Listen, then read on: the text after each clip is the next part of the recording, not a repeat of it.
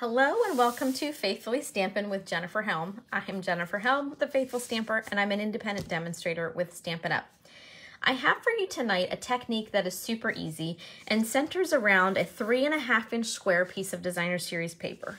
This is very simple to mass produce and is great for any occasion. And I'm gonna walk you through how to make it. This is inspired by Karen Titus. She is a fellow demonstrator and shared this technique. And it's just a lot of fun and a great way to use up paper if you happen to be like me and have a lot of designer series paper laying around your house. I've been collecting it for years and I'm really trying hard to will, uh, kind of whittle down some of my piles.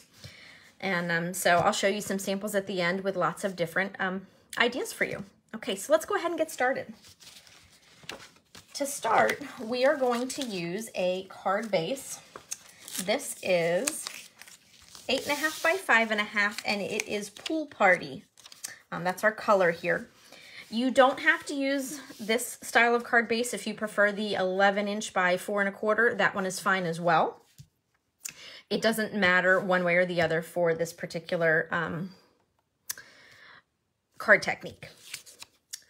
My lighting looks a little funny here, but it just must be me. Okay, so I'm gonna go ahead and fold and check to see which part of the card I want to be the front panel or the back. Sometimes I have just a little bit of overhang on one side, so that becomes the front of the card. Now this next step is optional. So I am taking a piece of cardstock that is five and a quarter by four. I decided to go tone on tone, so it's pool party, just like my base. You can leave this step out if you like and just skip to the next step. But for this card, I decided to cut my panel and then run it through an embossing folder. This is our time-worn type, and it does happen to be retiring in about a week. So you can hop onto my website and check out all the Last Chance products. Starting May 1st, you can see our new products online. If you are like me and you prefer a paper catalog, you are welcome to get in touch with me if you don't have a demonstrator that you're already working with, and I will be happy to send you one.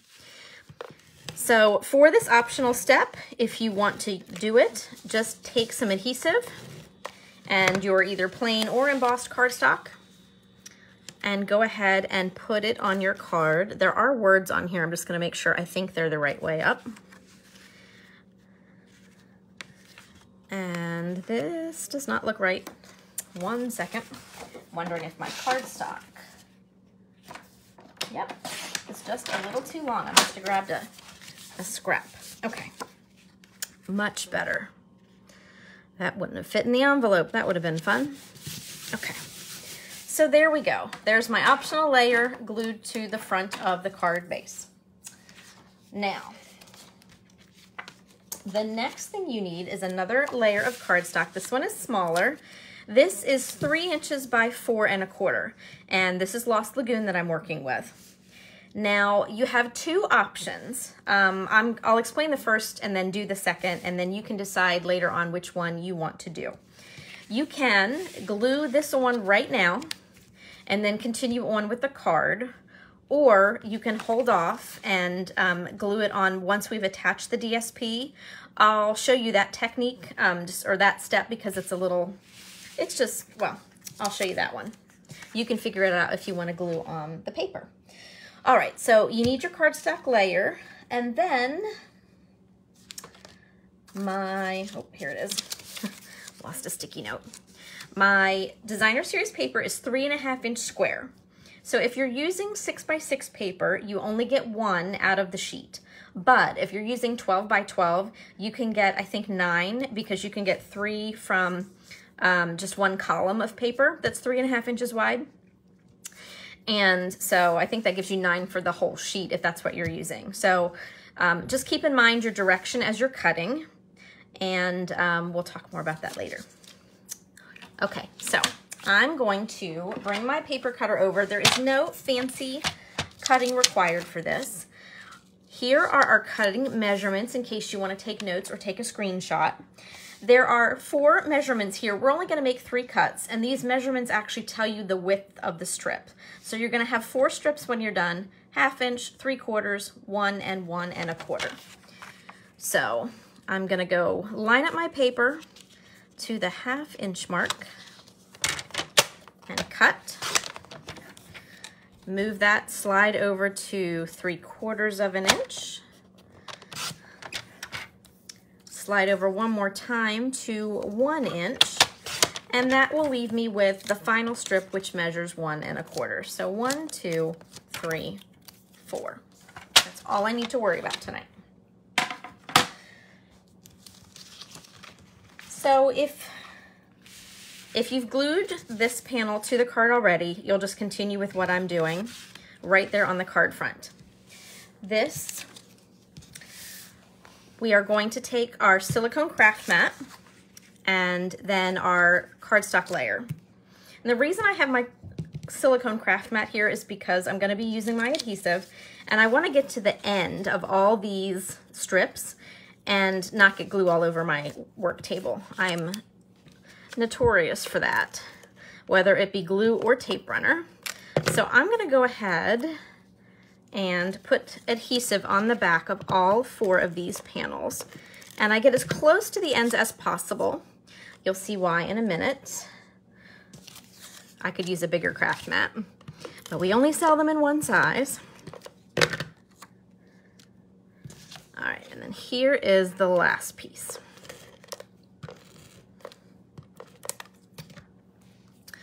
A little trick that I like to do to make this a little easier on myself is we're gonna be gluing the papers down like this.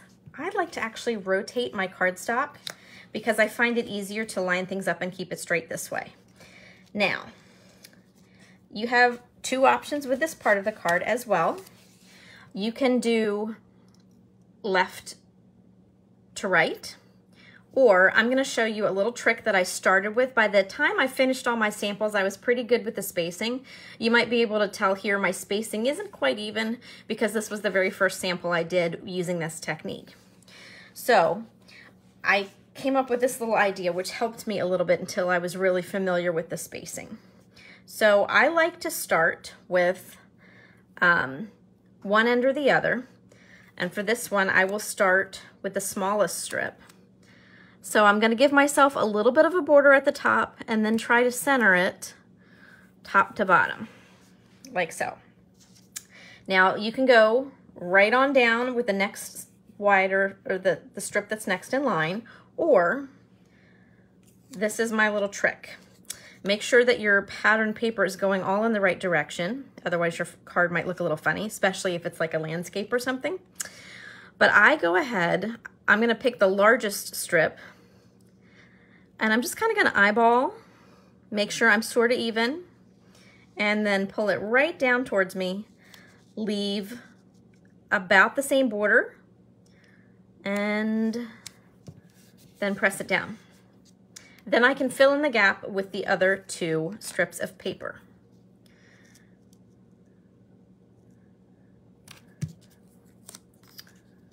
Liquid glue might give you a little more freedom my spacing's still a little off, but that's okay.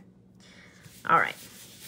So it's up to you whether you want to go all in a row or fill in the middle just like I did.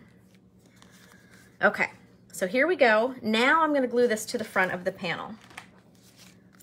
The reason I like to have adhesive to the ends of the designer series paper, even though um, they overhang, is just to make sure they stick because I found if I didn't quite get to the end, I very often caught the end and pulled it up and wrinkled it. My very first sample I did that with. And I think one of my cuts was crooked. All right, so there we go. Now you can decorate the card however you like. I decided to take another strip of Lost Lagoon.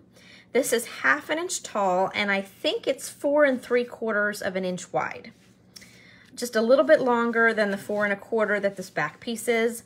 I I first tried it the same width and I didn't like it at all. I really like having the overhang on either end. I'm gonna grab some mini dimensionals to pop this up and then I will stamp my sentiment piece.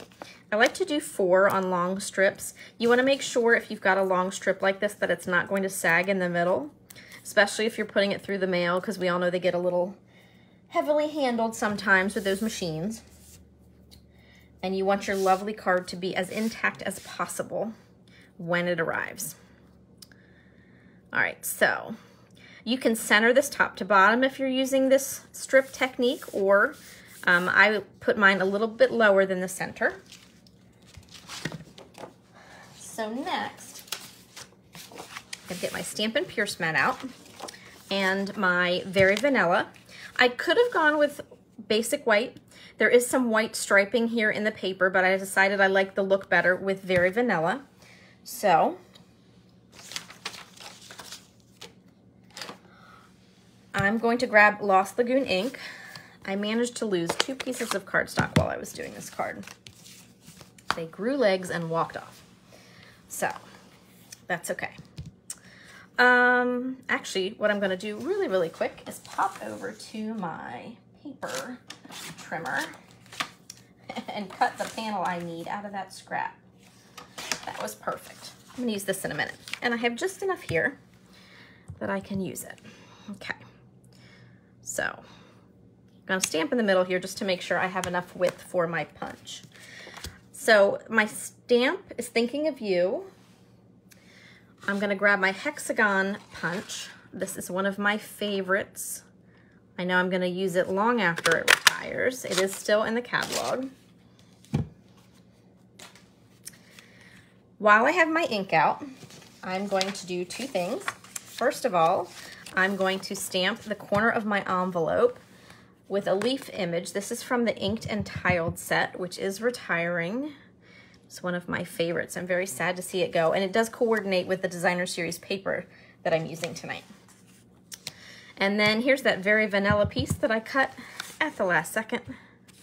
And I'm just gonna add some leaf here to the corners. That's why I need the scrap paper so I don't muck up my mat. Okay. Now that goes away. Ink gets closed. Now for the sentiment and my punch, I need it to, again, not be smushed in the mail. So I'm going to take my adhesive and run some right down the middle, but then I'm gonna just take two dimensionals and put them on the top and bottom points of my hexagon. And then it'll stick and then not droop. Now, I could center this or I could move it right to left. I think this time I'm actually gonna put it over here. It kind of covers up a little of my spacing error and um, I think where it was slightly crooked. But experiment, have fun. This is really just meant to be a springboard for you, an idea that you can take and run with as far as you want. That's what I love about these simple ideas. Okay. There's the inside. So there's my card and my envelope. One more thing, let's put a little bling on it. So I have some iridescent rhinestones, basic jewels. And let me see, I think I'm gonna do something different here. Since I put my sentiment off to the side, I think I'm going to take the graduated sizes of my rhinestones and just kind of do that. What do you think? I think I like it. Okay, something a little different. See, you can take the same card and just change it up a little bit and they're both lovely, right? Okay, so I'm gonna show you some samples now and let just point out some differences in the cards so you can see how many options you actually have with the same technique. So first off, I have some similar paper from the same pack, but I changed up the card design. Here I embossed not only the back panel, but the panel behind the DSP. Pardon. And I put the strips out of order. Now, if you have a landscape um, piece of designer series paper, like with a scene, a farm, or something like that, obviously mixing up the pieces is gonna look a little wonky, so don't do that. But if you have an all over print like this, if you wanna go out of order, you can. I just paired up the um, different widths, the smallest and the largest here on this end, and then um, reversed it over here. and glue down my DSP. Now I also waited to put this panel on because I added the ribbon. So I glued everything together, added the ribbon and the bow and a different sentiment. And I have a card that's very different, but equally lovely than this first one that I did. See? Okay, one more from that same pack of paper and then we will move on. So this one I went with different colors. Obviously I stepped away from those cool blues. Here I used crushed curry for my base, pulling the yellow out of the paper. And I didn't want it to be completely plain, so I stamped tone in tone with crushed curry ink just around the edges because the rest was all hidden by the DSP and that center point. Then I added my Calypso coral piece underneath and a banner and my sentiment to the front. And then there is the inside. So lots of different options, different shape punch to use, and a banner that I cut in half and then um, affixed to the card behind the sentiment. So next up, I have some new product to show you. If you saw the video last week, you saw some of this DSP before. This is our Adventurous Sky stamp set and the coordinating DSP. Very simple. I let the DSP do the talking. I love the colors. This is uh, Copper Clay and Night of Navy and Misty Moonlight on this card. I added the happy birthday, die cut the little banner that's part of the set. And then I added some of our industrial trinkets. These are really fun embellishments. They are reversible, but they have a lower profile if they have this more industrial look um, as opposed to what I call the pretty side with the etching on it. I have ink on my hands from where I was creating samples earlier. But there's the front, very simple, kind of understated, but not boring at all. I love it. Actually, one of these is going in the mail tomorrow. When I looked at this card design, I thought to myself, there's no way I can turn it sideways and change the orientation. I love doing that with the design, and I thought I can't do it. And then I thought a little harder and I went, wait a minute, yes I can. All you have to do if you wanna make a, um, a vertical orientation on this card is rotate your paper when you cut it. Here you can see I cut vertically up and down. And then here I just rotated the paper so that when I made my cuts, they would come out horizontally on the paper. Just changed out the, the placement of my banner and used smaller embellishments but the cards are virtually the same. So you can experiment have some fun with your layout. These were one of my favorites, I think. I'm gonna be using this paper a lot. So here are two more where I experimented with the orientation as well, one style of each. I kept it really, really simple. There's no embossed cardstock here, um, just one die cut, which you could use a punch for if you don't have a die cutting machine. And then here's the vertical version with a little extra. And these are both sympathy cards. Now I mentioned earlier those landscape pieces of paper. So here is one. This is our meandering meadows. I love this paper. I rarely cut it because I love it so much. I just want to look at the beautiful landscapes that they have created for us. But I really like how this looks when you um, lay it out with this design, it's almost like peeking through a window shade. So I kept it really simple. I used the colors in the paper to pick my colors for the base and layer. Added a very simple banner and some gems. I kept, um, this was a six by six paper, so I could only get the one three and a half inch square. So I used the leftover paper to create a strip to go inside the card, and then the envelope flap for the card actually is the same piece of paper and that coordinates beautifully together. Now here I have another card. On this one, I embossed the back panel and the one underneath, added ribbon and a bow, no sentiment needed on the front.